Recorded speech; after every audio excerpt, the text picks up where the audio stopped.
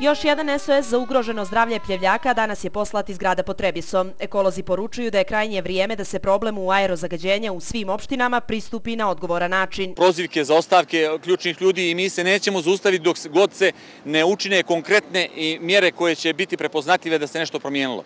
Jer mi imamo i demografsku sliku gdje narod se iseljava, mi više nećemo imati omladine tamo i nećemo imati kome više šta da pričamo. U pljevima ako se nešto danas i ovih narednih godinu dana ne preduzme. Dva najodgovornija čovjeka za postojeće stanje, ministar održivog razvoja i turizma, gospodin Branimir Guzdejanović i direktor Agencije za zaštitu životne sredine Ervis Pahić i mi ćemo tražiti njihove ostavke sve dok se to ne desi.